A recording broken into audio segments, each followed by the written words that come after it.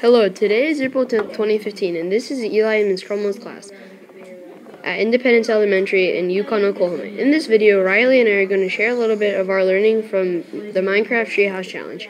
This is a project we just completed in our STEM class. Minecraft Treehouse Challenge, we were asked to build the coolest treehouse we could in Minecraft EDU with our partner. It needed to include ladders, windows, doors, and torches. We also had to include at least one square room which had an area of exactly 25 blocks. This is a picture of a 5 by 5 room in Minecraft. I will calculate the area for you. So there's 1, 2, 3, 4, 5, 6, 7, 8 blocks, and then 1, 2, 3, 4, 5, 6. So I would do 8 times 6, which equals 48. So area equals 48. In the Minecraft Treehouse Challenge, we also had to build a fence corral that had a perimeter of 24 and included a gate. We find perimeter by adding up all the sides of a polygon.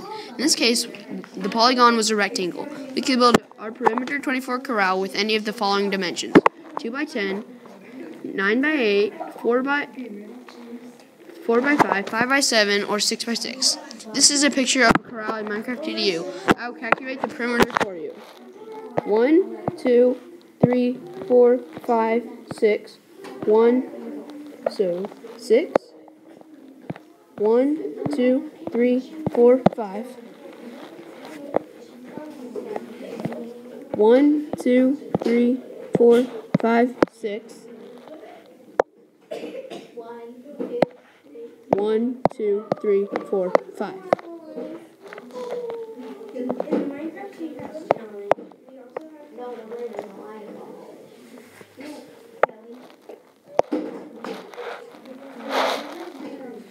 First, I will count the length of each side.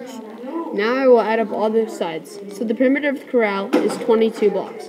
Something special about our Minecraft corral was we had horses in it.